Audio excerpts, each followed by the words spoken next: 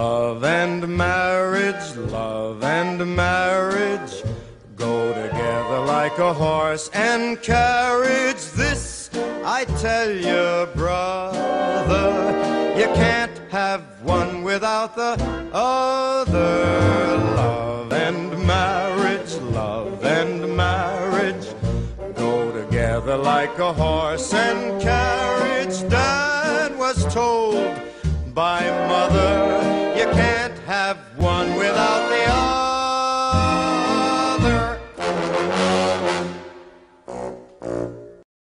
scenario where the church, where the parents in the church, where we take responsibility for training our young people, where we take responsibility for making sure that they know everything that they're going to need to know to be successful in this world. We teach them right, we teach them wrong, we teach them how to behave, we teach them about Jesus, we teach them about love, um, we teach them how to be parents, we teach them about money, we, we, we, we teach them how to live their lives in a way that glorifies God. But we take one single area and we say, we aren't going to teach our children, we're not going to teach our young people about this. Instead, what we're going to choose to do is in this one area, we're going to let Satan do the training. And we're going to let Satan do the educating in this one area. We'll do everything else, but this one area, we're just going to let Satan educate them. And I'm afraid, church family, this is what we have done with the area of sex in our churches and within our Christian community. Somewhere along the line, we've decided that this is an area that's too sensitive, too volatile for us to touch. And in our silence, what we have done is we have failed to bring Christ into the conversation. And our failure to bring Christ into the conversation with our young people and to make it a regular part of our conversations in the church, what we have essentially done is we have handed over this process to Satan. And some of you this morning are even a little bit uncomfortable that I'm going to be speaking on a subject like sex. And some of you are going to be uncomfortable even that we have some, some teenagers in the room because, I mean, they're not ready to hear this yet. Newsflash. We are in a world of information right now.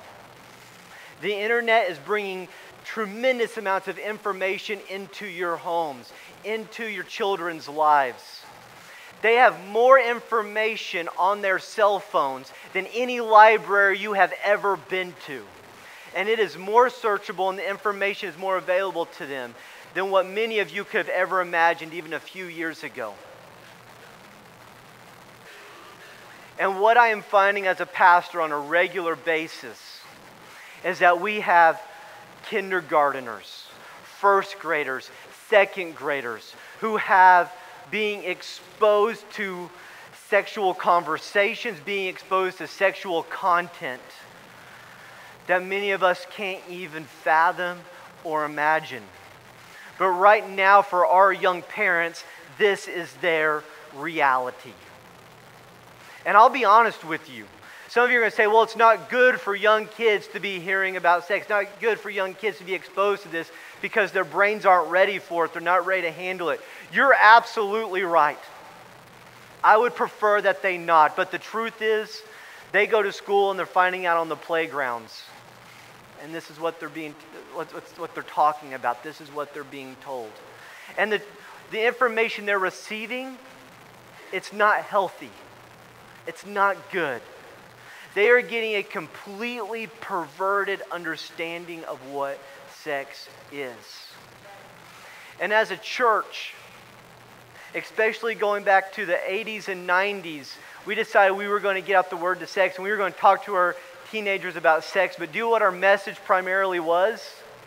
Sex is gross, it's nasty, it's yucky, you need to stay away from it. It's, it's, it's this horrible thing that you don't want to do. I mean, save that for your, for, your, for your spouse. Wait till you're married and let them deal with the messy, yucky stuff. And so we, we have a problem within our society right now to where we have on one side, we have a society that has taken sex and has said sex is God. It's something that we worship in place of God. It's something that we live our lives for and our lives to have, and we can enjoy it in so many different ways with the, within the context of our society today. But then on the other side, we have a church that's saying sex is gross, especially to our young people and to our teenagers. And they're carrying it with them for the rest of their lives, and we're saying it's gross, it's nasty, it, it's yucky, it's something that you know, you're, you're better off just not talking about, but do it as little as you have to in the confines of your marriage, because yuck. But this morning, what I really want to do is I want to come back and I want to talk about sex as a gift. And the way God intended sex to be used. And to be honest with you, I've realized as I've been preparing for this over the last couple of weeks, I'm biting off more than I can chew this, this morning. Really, this is probably something that needs to be panned out over the course of, you know, several Sundays. Because of the amount of misunderstanding that exists in our societies and our churches about what sex is supposed to be, about what sex can be. But here's what scares me the most is in, in John chapter 1, we hear Jesus and Jesus coming into the world as a, Jesus being light that's coming into darkness. And we understand darkness and evil being the same as good and light being the same. And darkness is essentially the absence of light. And so light can never overcome darkness. If you put light and air into darkness, the light will always shine through the darkness. The darkness can over, never overtake the light. The same thing is true of evil. Evil is the where the good does not exist, and good as we know in our world is God. And so evil is where God does not exist. And and, and church family, I, I, what I want to do this morning is I think that we have chosen and we have allowed sex to live in darkness. We have allowed evil to control our understanding for us as adult church members and for our kids of what sex is. And my goal this morning is to take God, His Word, His teachings, and to insert it into that evil. And my desire is that as it is illuminated, that what God's word says true is that darkness and evil will not be able to overcome the truth. And for some of you, this is going to start the process of liberation for you from sexual assault, from issues that you've had from your past. Reality check almost every single one of your kids, if, if they are younger than me, are probably suffering from some of the same issues that you would see from somebody who is a sexual, who's been sexually abused, because the chances are they have been exposed to sexual material at a young age, which is sexual abuse. And that they, your, your young children, your young daughters, have seen pictures, have seen videos of inappropriate pornography and women that they identify with in sexual situations. Same thing for your young men. They are identifying with men in sexual situations through pornography. And say, well, this isn't my kids. If your kid is ever around another kid with a cell phone, chances are it's your kid too. And it doesn't take long for it to happen. You're, you're going to be naive if you say, not my kid, not my grandkid. They are, they are struggling like somebody who's going to struggle with sex as if they have been sexually abused. It's, it's just the reality of it today. And as a pastor, whenever I deal with younger people, I deal with it. There, another thing that I have to deal with as a pastor is I assume that pretty much every man that I come in contact with has a pornography addiction. And you know, it just isn't men anymore. Growing number of women not only view pornography, but also have a pornography addiction themselves. And chances are the vast majority of you that are in, your, in this room have the same problem. You say, well, that's not fair. I mean, we're in church, that can't be. There have been a number of private studies done where pastors were able to speak openly honest about their pornography use. And the numbers come back as high as 80% of pastors on a semi-regular basis are viewing pornography.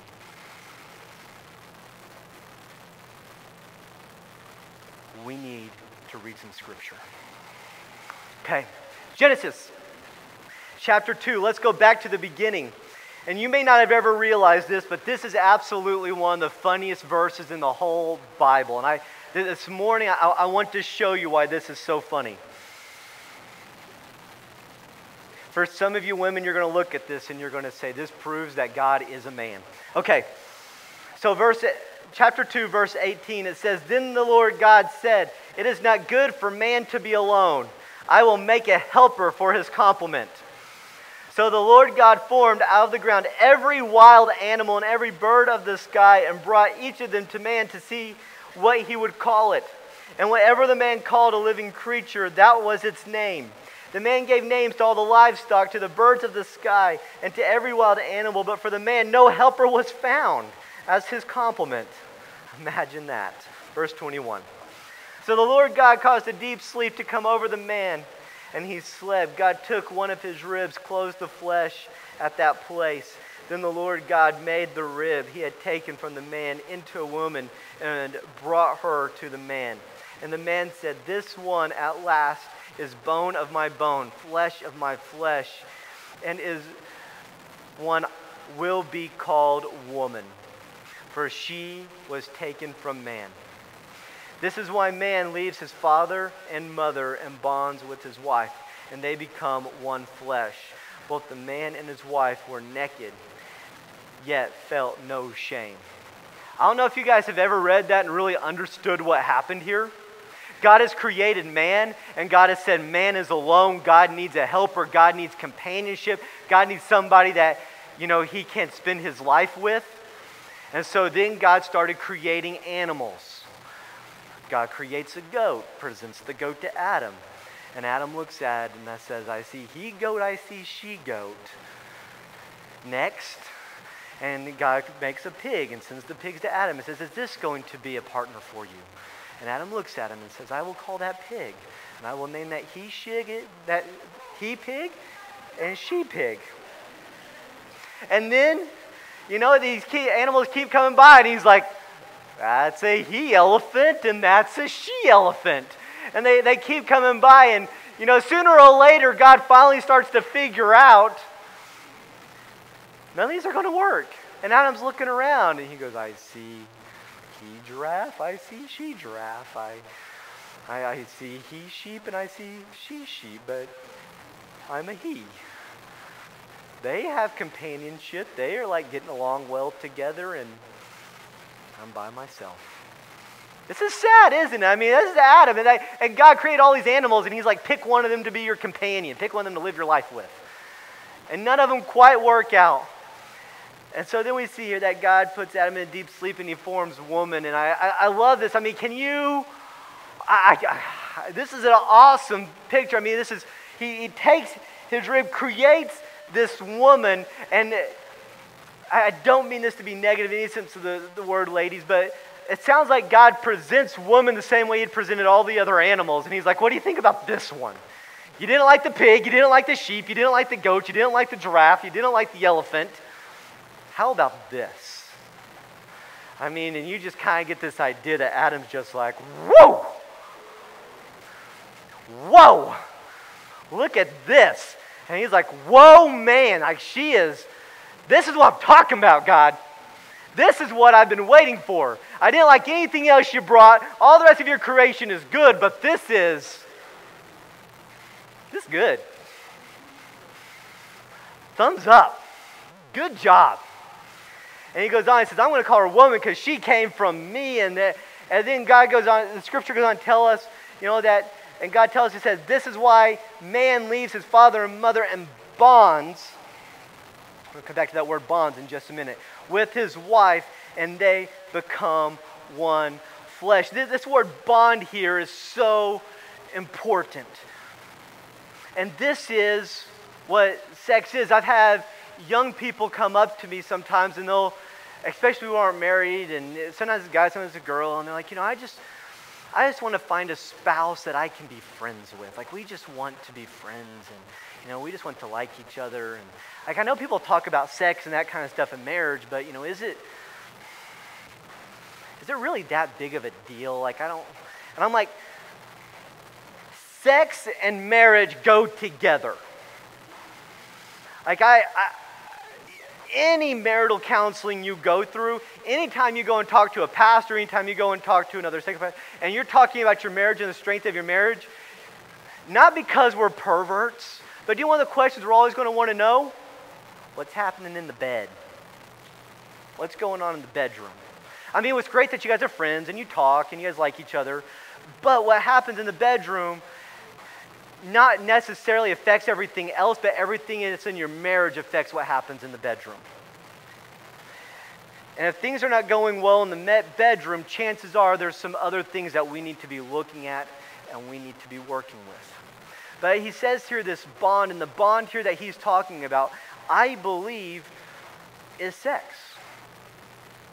And we know from talking about, you know, from learning sex and the, and the things that we've learned about it from a clinical science aspect, is that whenever you have sex, there are chemicals released in your body and your brain that give a chemical reaction that's similar to, to cocaine or heroin. And it's just an extreme excitement, and your brain is just going crazy. And what happens is that during that sex act, they, the images and the one that you're with, all that's getting seared together. You know how heroin and cocaine can be addictive and you keep getting drawn back to them? In a good sexual relationship, in a good marriage, whenever you have that bond together through sex and it's in a healthy way, those chemicals and all those things that get kicked off, they make you, in a sense, addicted to your spouse. You want to keep coming back to them. You want to keep being with them. And now, this morning, in order to help us understand this, I brought an expert in this area um, with us this morning who is going to teach us more about how all this works. Uh, Bill Kilman, can you come up here real quick? Come here, Bill. Bill's an expert in adhesion. Okay.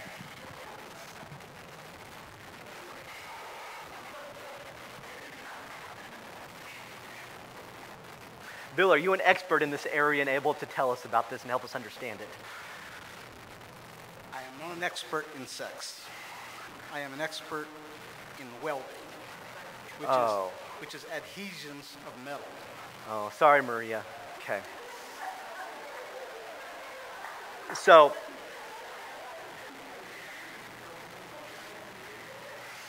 so adhesions of metal.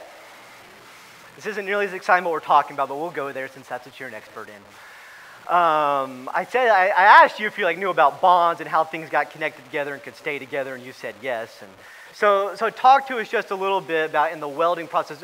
Uh, Bill you is a retired, uh, was it pipe fitter, welder, where you, you weld things together in metal. So, so tell us about what that process and what that looks like and how two metals become like one metal or something. Well, uh, you have to have electricity if you're welding with a welding rod. And you need electricity for your marriage too. Yes. Okay. Okay, keep going. And that and the welding rod is uh, has to be a metal that's above the tensile strength of the metal that you're welding. What's tensile? Tensile strength is um, common steel is probably in the 50, low 50,000 thing. The welding rod you use be 60,000 up, so it's higher in the tensile strength. The tensile strength is, it won't break apart before the parent metal. Okay. Oh, so now we have parents and, okay, gotcha. Keep going. That happens too in this whole conversation. You know more about this than you think, Bill. Keep going. I don't know what you want me to say next. So, if, tell us the characteristics of a good weld characteristics of a good weld is there's no voids. Ooh. If, okay. there's, if there's no voids, then there's nowhere for it to leak or break. Okay. What would cause the voids or a poor weld? Um, not doing it correctly. Very good. So uh, this, this, this, voids and, and, this, and this welds, how do you, are there ways to, to, to determine or to tell if the weld is good or, or poor? Yes, there's ways. There's um, uh, if you take a test to make sure you, that, that your employer knows you can weld, they'll bend the metal, and if it doesn't break, then it's good. And if you're on out in the field doing the welds, they'll X-ray it, and that X-ray will declare if there's any voids or not in it. Okay. One of the things I find interesting, I've talked to you about welding over the years, is that you've mentioned to me that the area of the weld, and I think this may go back to tensile strength. Um, I really, I don't know much about this stuff to be honest with you people. Um, but the, the, the, tensile strength of the, the, weld, that if the, the pipe were to break or to be damaged in some area, typically you're not, in a good weld, you're not going to see the, see the damage in the weld. No, the parent metal will go first. And the parent metal is the two, the, the two metals you're binding Correct. together. And those have a greater chance of breaking. And so, so essentially what you've done, if the weld is good and it's a good weld, then that weld is going to be, is going to bind those two together essentially. Yes. Are, are there ways to make a bad weld look good? Yeah, bad weld. I mean, I'm sure you never did this. but other people you know. If the bad weld doesn't doesn't, uh, does if you know the bad weld, did, you didn't do a good job and you probably, probably got voids in there, you can just make the, the cap, that's the final pass, look real nice. Okay, but that won't help the weld be stronger. It'll just make people think, oh, that's a good weld. Very good. So if we, if we take this between, we have to make a connection somewhere between pipe fitting and sex because that's what we're talking about. You understand that, right? I understand it. I don't know how you're going to do it, but I understand. Here in Scripture, God's telling us that the two separate entities are going to be bonded together. And they're going to be made one flesh. If this is how two metals are brought together to become one, do you think God is capable to create a bond that would very interesting? Do, do you think it would be possible, or do you think it would be, I mean, do you think God would be able to create a bond that could connect our marriage with that same type of strength in order to bring two people together? Absolutely. God can, what God creates is always right. That's a good answer. All right, thank you, Bill. And so I,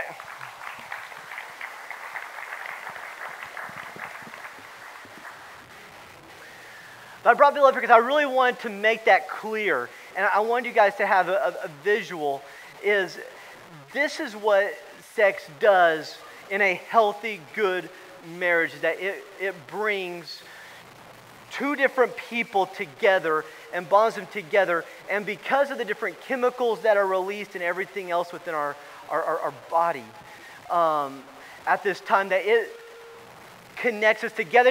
God doesn't tell us all this here. We've learned from science later on how powerful this bond can be. But what's happened in our societies is that this bond is a strong bond. And we tend to be way too loose with it. And what happens is if you are not married and you are having sex outside of marriage, then you are bonding yourself to somebody else. And that what you are doing is that you are making yourself one flesh with somebody that is not meant to be one flesh with you. And let me be very, very clear on this.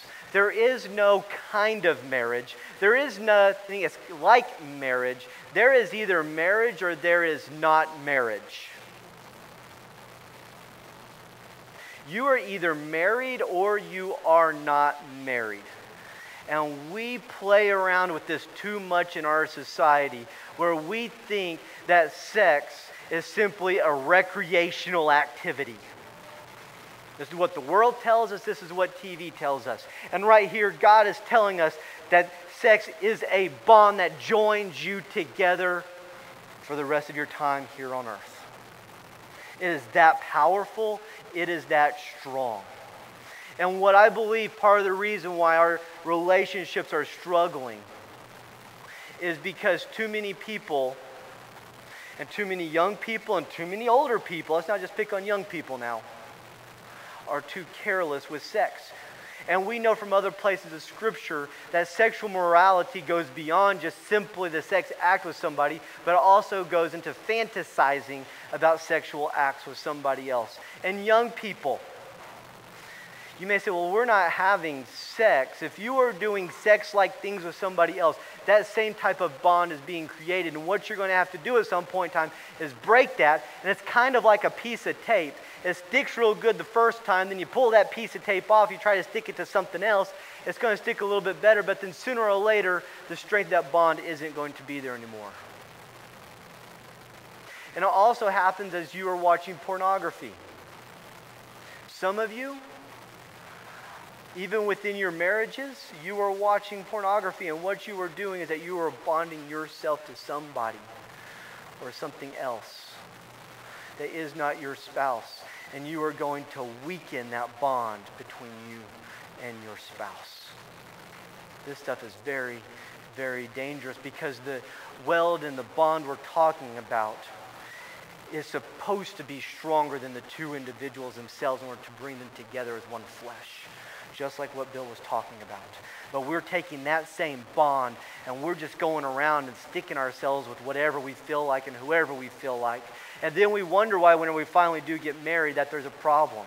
It's because we are bringing, bringing years and years and years of inappropriate connections and bonds into our relationship.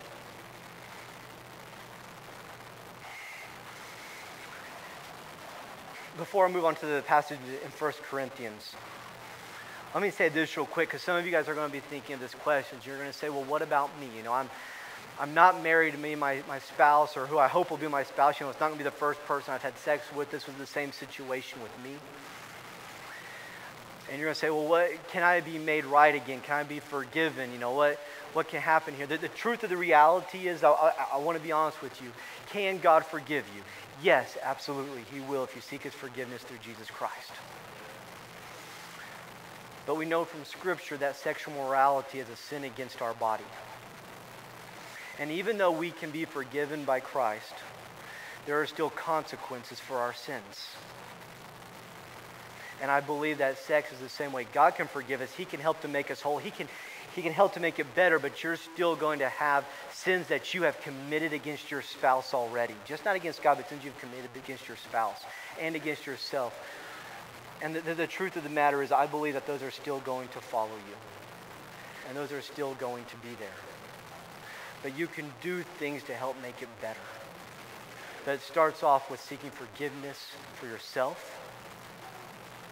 And also, at some point in time, young people, you're going to have to ask forgiveness of your spouse if you are acting inappropriately sexually before you're married. You're going to have to go to your spouse and you're going to have to ask them for forgiveness as well for the sins that you committed against them. Passage in, in 1 Corinthians chapter 7, verse 1. It says, Now in response to the matters you wrote about, it is good for a man not to have relations with a woman. But because sexual immorality is so common, each man should have his own wife and each woman should have her own husband. A husband should fulfill his marital responsibility to his wife, and likewise a wife to her husband. A wife does not have the right over her own body, but the husband does. In the same way, a husband does not have the right over his own body, but his wife does. Do not deprive one another sexually, except when you agree for a time to devote yourselves to prayer. Then come together again. Otherwise, Satan may tempt you because of your lack of self control. I say the following as a concession, not as a command. I wish that all people were just like me, that each has his own gift from God, one person in this way and another in that way. Paul is reiterating what I said earlier that sex is not just simply a side aspect of marriage, but sex is an important, integral aspect within marriage. And because it's so important within marriage, we need to handle it appropriately outside of marriage. But the thing I want you to see here as you look at it is that Paul doesn't describe sex as God, and Paul doesn't describe sex as gross, but rather what Paul does is Paul's describing sex here as a gift. We're going back to the bond idea. And what Paul is saying here is Paul is saying, be bonded together regularly within your marriages. Be bonded together regularly within your marriages. This is a gift, and that this is something that God intends within the scope of marriage to happen on a significant regular basis. He even says here, he says, do not deprive one another sexually, except whenever you both agree on it for a certain period of time. And then to come back together after that.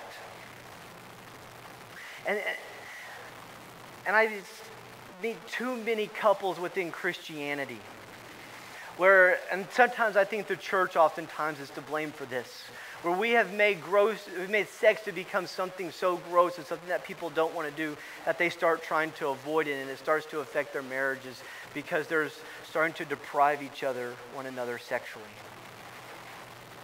But Paul is saying here that this is important, that this is a bond that should be regularly be being created, and that you can see because of the, as I talked about earlier, the, the bond, the things that are coming up, the, the connection that's made, how important that becomes. And it really does become a gift. And what I would like you to do more than anything else this morning is to change your concept of sex as something that is a physical aspect, as something that is an act of worship. And in our society today, we have taken sex and that we have made it a physical connection between two people. And we've made it simply down to a physical aspect. But I believe that sex has very much a spiritual aspect to it as well. And if we just simply degrade sex down to where it's just physical, then we are going to miss the beauty that can be found within sex because sex, I believe, is also very much spiritual. And sex within the marriage, within the confines of marriage, I believe that is the opportunity for a husband and wife to interact with each other in a way that is worshiping God. And for some of you, you're, you're struggling with your concept of sex within your marriage, and you want to be good to God, and you want to be good to your spouse, but this isn't working. It's because for some of you, you've simply made it physical. For some of you, you have seen sex as God and that you have been watching pornography, you've had other sexual relations outside of your spouse, and whenever you come to your marriage bed, you want your spouse to fulfill the things that other people have fulfilled for you, or you want your spouse to fulfill the things that you have seen on your computer screen. And you want them to do those things for you. And what you are doing, if you've made sex God and you want your spouse to become part of your idol worship as they serve you and it becomes about you wanting them to do something for you physically. And others of you, you've made sex gross and you want to avoid it and you want to stay away from it because it just it doesn't make you feel good. But either one of those two extremes, I believe, is a sin whenever we go back to Scripture. And my desire is to see more of our marriage come together where the husband and the wife see sex as a gift to be enjoyed for both. And I believe for some of you that this is going to change your sexual relationships with your spouse if you can hear these things. And it's going to seem really, really awkward and it's going to seem weird, but I think it's so important because not only for you, but also for your family, it's necessary for you to have a healthy sexual relationship whenever my grandparents were old, I guess grandparents in necessity are old. So if you're grandparents, you might just be old. But my grandparents were like old, old. Um, and they were going to like a, a nursing home. And we were, uh, and we were packing up everything in their house. And my job was to go take all the books off the bookshelves and box them up and, you know, try to determine what books we were going to keep, what books we weren't going to keep. And I was pulling these books off the bookshelf, and I came across one book, and it had a, a brown paper bag covering on it. And so I needed to decide what box it was going to go in. So I started opening up the book, and you know, I realized that Grandma had a uh, a book on how to have sex. And the worst part was, like, the copyright date wasn't that long ago. Like, this was a new book that my grandma had picked up. And I'll be completely honest with you, there was a part of me, like I threw up in my mouth a little bit, like it was gross. I mean, let's just be honest here. But you know, There was another part of me as their grandson. It was very endearing to me. And it's so weird, I know, and it seems gross to me, and it's awkward, I know. But for your family and for your kids, they need you to have a healthy sex life. And I believe the way that happens is through sex becoming worship. And, and, and if you are, are married, hear some things. And if you're not married, I also want you to hear this because I want you to hear what sex can look like and what it can be like and how amazing it can be. You know, for my wife and I, sex tips from Michael Cooper. You guys want to get out a sheet of paper and write all these down. For, for my wife and I, a couple of years ago, um, we started to make a decision that, you know, whenever we were intimate in our, our marriage bed, that no longer were we just going to simply have sex with two of us, but we were always going to invite somebody else in. And you know, regularly, what we started doing is we started making prayer incorporated in because what we found out is because you know we had the same issues that so many of you do where sex is god and sex is gross. And what we found out is that we were trying to hide what we were doing from god because for some reason we thought what we were doing was bad and gross or or something that, that we put on a level of god and we didn't want god to be involved. And you know it's amazing what happens whenever you start praying but before and bringing God and asking God and Jesus to be involved within your sexual life. Something else that we started doing, this is so weird, and for some of you this is going to seem really awkward, but it's amazing.